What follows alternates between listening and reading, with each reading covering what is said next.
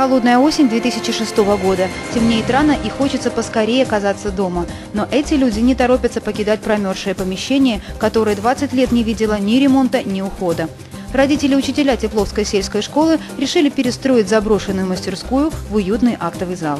Мы хотим начать работу значит, хотя бы в середине ноября, а закончить в феврале хотя бы. То есть, как бы, вот если честно, точно мы не знаем, мы первый раз в этом, то есть у нас опыта нет, сколько это может продлиться, сколько это затянет э, времени, демонтаж, монтаж, то есть э, установка, закупка всех материалов, мы не знаем, как бы, то есть э, у нас опыта такого нет, но хотим за месяц, два, три это все сделать, а там посмотрим.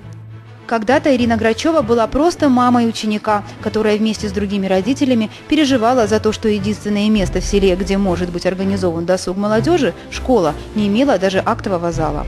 Теперь на Ирине лежит большая ответственность. На общешкольном собрании ее выбрали казначеем родительского сообщества, которое после долгих раздумий и сомнений решило взять под свой контроль благоустройство школы. Начало активным действиям положило знакомство с программой развития и интеграции Крыма ООН – Программа обещала помочь при одном условии – инициативу и ответственность в решении организационных вопросов, в том числе финансовых, родители должны взять на себя. Проект 50 на 50. Вот, 50% уносит это ПРКОН, а остальное это райгосадминистрация, местная наша власть и родительский, конечно, комитет. Закипела работа, проекты, расчеты, переговоры. Иногда засиживались до ночи. Ни у кого из родителей и учителей не было опыта составления смет, планирования работ и тем более опыта ведения переговоров с партнерами проекта, которыми выступили районная власть, поселковый совет и предприниматели. Общий бюджет проекта реконструкции актового зала составил 86 тысяч гривен. Из них 12 тысяч ежемесячными платежами по 5 гривен собрали мамы и папы учеников. Но самый главный вклад родителей – трудовой. Весь ремонт помещения они сделали своими руками. У нас большая проблема была с очисткой пола. У нас деревянные полы были. Вот мы их и шкаблили. И наждать, и станком специально обрабатывали, снимали верхний слой. Они не, не, по, не подлежали хорошему ремонту. И мы очень долго мучились, и дети, и взрослые, и родители. Все были в этом актовом зале полом. Мы практически три недели занимались только полом. Но благодаря сельскому совету и частному предпринимателю мы смогли купить ламинат пол и закрыть все-таки дерево ламинатом, потому что линолеум на дерево не кладут, иначе сгниет весь пол стяжку заливать невозможно было.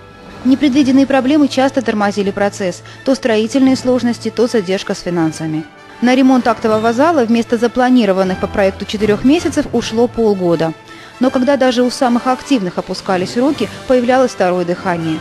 Пример родителей и учителей заразил учеников школы, которые тоже помогали в ремонте. Прихпром нас э, научил, будем говорить, что верить в то, что во что не верилось. Э, не верилось, что мы создадим, не верилось, что мы это выиграем, этот проект. И тем не менее, кропотливый труд родительского комитета, родителей села и самих детей э, помог нам реализовать наши мечты.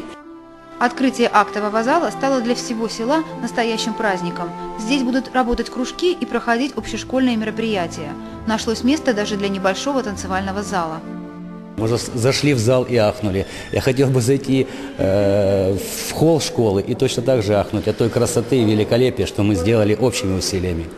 Оказалось, что принимать работу у самих себя – большое удовольствие. О такой работе, говорят, комар носа не поточит. Пол устелит линолеумом, сцена ламинатом. Новые окна не пропустят зимнюю стужу, и нарядные портьеры придают залу домашний уют.